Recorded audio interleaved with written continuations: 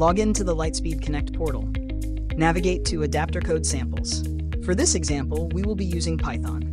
Download the zip file in the Python folder and extract it. Once extracted, you will find all the needed files for Lightspeed Connect in the extracted folder. Copy the file path where all the files are stored and open your preferred Python IDE. Today we are going to be using PyCharm. Open the Connect Python client folder by pasting the file path in PyCharm or manually browsing. If the readme.md file does not open automatically, go ahead and open the file. The README file contains installation and usage instructions for the Lightspeed Connect API. For this tutorial, we are using Windows, so let's navigate down to the Windows installation instructions. Navigate to the directory where your files are saved and copy the file path. Next, open the Windows command prompt. Enter the following command to navigate to the proper directory and hit enter, cd paste copied file path.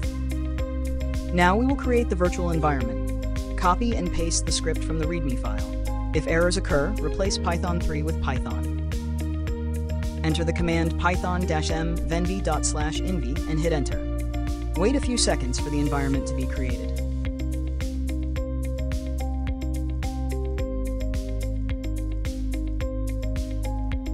Next, activate the virtual environment by copying the command from the README file and pasting it into the command prompt. The INV indicates that we are now in the activated environment, which is crucial for the next steps. Next, we want to install the required packages and download the WebSocket client using the command from the README file. pip install -r requirements.txt. We have now successfully installed the required packages. The next step is to open the runexample.bat file in the IDE. In this file, we will enter our unique API key and WebSocket URL, which we can get from the Lightspeed Connect portal. Generate a new API key and copy it.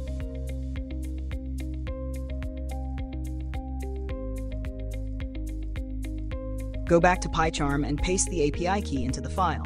Do the same with the WebSocket URL and paste it into the same file. Now we are ready to run the bat file. Open up the command prompt and paste the following command, run async example.bat. We have now finished installation and are ready to place our first test order in the certification environment. Navigate to the API console and select the relevant API key. As you can see, we are now connected. Navigate to the documentation section to find examples of different order types to test out. Here, we will test out using a simple market order. Click Try in Console to have the code automatically pasted in the API console. Edit the order details as needed and click Send. Make sure to select the proper API key.